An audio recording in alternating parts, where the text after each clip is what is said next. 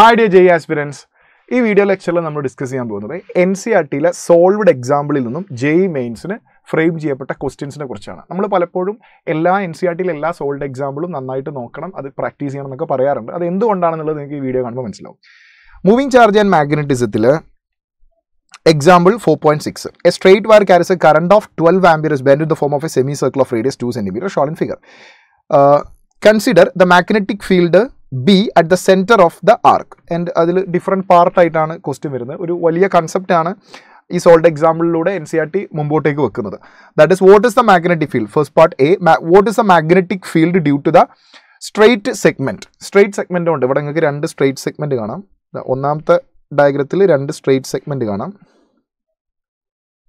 Infinity എന്ന് വരുന്നതാണ്. Infinitely long straight segments ആ സ്ട്രെയിറ്റ് സെഗ്മെന്റ് സെഗ്മെന്റ്സ് ആ സെമി സർക്കുലർ ലൂപ്പിന്റെ സെന്ററിൽ ഉണ്ടാക്കുന്ന മാഗ്നറ്റിക് ഫീൽഡ് എത്രയായിരിക്കും എന്നുള്ളതാണ്. രണ്ടാമത് in what way the contribution of contribution to the B from the semi circle is different from that of circular loop and what way does it resemble okay അപ്പോൾ അത് ഈ രണ്ട് ഡയഗ്രത്തിന്റെയും ബാക്കി ഡിഫറൻസും ബാക്കി കാര്യങ്ങളൊക്കെയാണ് ആ എൻ സി ആർ ടിയിലെ ക്വസ്റ്റിനോട് അവർ ഉദ്ദേശിക്കുന്നത്. അപ്പോൾ ഈ സോൾഡ് എക്സാമ്പിൾ സോൾവ് ചെയ്യുന്നതോടുകൂടി നമുക്ക് കിട്ടുന്ന ഇൻഫർമേഷൻസ് ആണ്.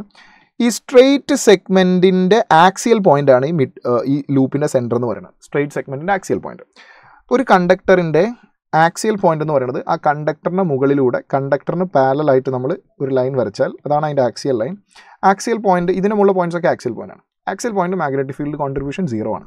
ബിക്കോസ് നമ്മളിവിടെ കറണ്ട് എലമെന്റ് ഡി എൽ എടുത്തിട്ട് മാഗ്നറ്റിക് ഫീൽഡ് ഫൈൻഡ് ഔട്ട് ചെയ്യേണ്ട പോയിന്റിലേക്ക് നമ്മൾ പൊസിഷൻ വെക്ടർ ആർ വെക്ടർ വരച്ച് കഴിഞ്ഞാൽ ഡി എൽ ആണ് നമ്മൾ ഉണ്ടാക്കുന്ന ആംഗിൾ സീറോ ആണ്. സൈൻ സീറോ സീറോ അപ്പോൾ ബാഡ് സവാത്തിലോ പ്രകാരം mu zero by four pi I dl sine theta by R സ്ക്വയറിൽ തീറ്റ സീറോ ആകുമ്പോൾ മാഗ്നറ്റിക് ഫീൽഡ് സീറോ ആകും. അല്ലാണ്ട് നമുക്കറിയാം ആക്സിൽ പോയിന്റിലെ മാഗ്നറ്റിക് ഫീൽഡ് സീറോ ആണ്. നമ്മൾ ഓൾറെഡി പഠിച്ചാണ് അപ്പോൾ ഈ രണ്ട് സ്ട്രൈറ്റ്സ് സ്ട്രേറ്റ് സെഗ്മെന്റ് സെന്ററിൽ മാഗ്നറ്റിക് ഫീൽഡ് കോൺട്രിബ്യൂട്ട് ചെയ്യില്ല. നമ്പർ വൺ അപ്പോൾ ആ കൺസെപ്റ്റ് ഈ N C R T exercise solve ചെയ്യുന്നതിലൂടെയാണ് നമുക്ക് കിട്ടുന്നത്. അത് കിട്ടിയതുകൊണ്ട് എന്താ യൂസ് എന്നുള്ളത് ഞാൻ പറഞ്ഞുതരാം. ഇനി സെമി സർക്കുലർ ലൂപ്പ് കോൺട്രിബ്യൂട്ട് ചെയ്യുന്ന മാഗ്നറ്റിക് ഫീൽഡ് എത്രയാണ്?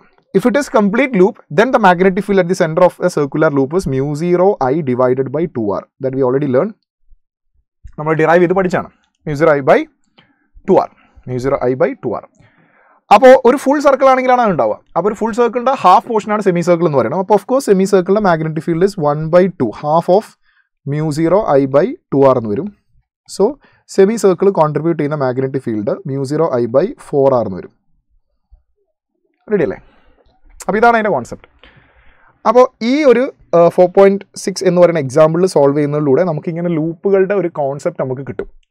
അത് പ്രാക്ടീസ് ചെയ്യുന്നതിലൂടെ ആ കോൺസെപ്റ്റ് കിട്ടുന്നു. അതോടെ നമുക്ക് സി ജെയ്ക്ക് ചോദിച്ച റീസെന്റ്ലി ജെയ്ക്ക് ചോദിച്ച ഒരു ബാച്ച് ദ ഫോളോയിങ് ക്വസ്റ്റ്യൻ ആണത്.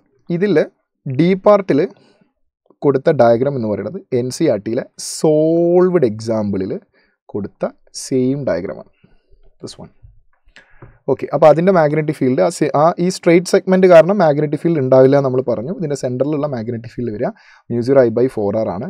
അപ്പോൾ ഡിക്ക് നേരെ വരുന്ന മാച്ച് ദ ഫോളോയിങ്ങിൽ ടു ആണ്. സെയിം കോൺസെപ്റ്റ് യൂസ് ചെയ്തുകൊണ്ട് ബാക്കിയൊക്കെ നിങ്ങൾക്ക് വർക്കൗട്ട് ചെയ്തെടുക്കാൻ പറ്റും. അപ്പോൾ ഈ ഒരു ക്വസ്റ്റ്യൻ ഫ്രെയിം ചെയ്തത് നമുക്ക് പറയാം എൻ സി ആർ ടിയിലെ സോൾഡ് എക്സാമ്പിളിൽ നിന്ന് ഇൻസ്പയർഡ് ആയിട്ടാണ് ഈ ഒരു ക്വസ്റ്റ്യൻ ഫ്രെയിം ചെയ്യപ്പെട്ടത്. അപ്പോൾ ഡിക്ക് നേരെ ടു വരുന്ന ഡിക്ക് നേരെ ടു വരുന്ന മൂന്ന് ഓപ്ഷൻസ് ഉണ്ട്. ബാക്കി ചെക്ക് ചെയ്താൽ നിങ്ങൾക്ക് കറക്റ്റ് ഓപ്ഷൻ കിട്ടും. ഇത് നിങ്ങളുടെ ഒരു ടാസ്ക് ആണ്. ഇത് ചെക്ക് ചെയ്തിട്ട് കറക്റ്റ് ഓപ്ഷൻ താഴെ കമന്റ് ചെയ്യാം. താങ്ക് സോ മച്ച് നമുക്ക് അടുത്ത വീഡിയോയിൽ കാണാം.